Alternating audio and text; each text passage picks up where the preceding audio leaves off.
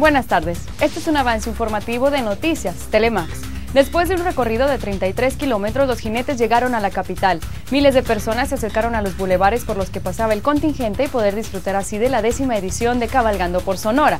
El gobernador Eduardo Burs agradeció a todas las personas que hicieron posible no solo esta edición de la cabalgata, sino también las nueve anteriores. Agradeció especialmente a Jorge Luis Molina de la Unión Ganadera, al senador Alfonso Elías y al presidente de la Confederación Nacional de Organizaciones Ganaderas, Osvaldo Cházaro Montalvo. El mandatario estatal afirmó que eventos como este demuestran que Sonora puede con esto y más, que es tiempo de ver para adelante, no es tiempo de cambiar el caballo y para atrás ni para agarrar aviada. Entre sonrisas y muy buen ambiente concluyó el recorrido para disfrutar de una deliciosa comida y posteriormente del show de los caballos bailadores de José Manuel Figueroa. Soy Cecilia Méndez y usted tendrá más información en una hora en Noticias Telemax.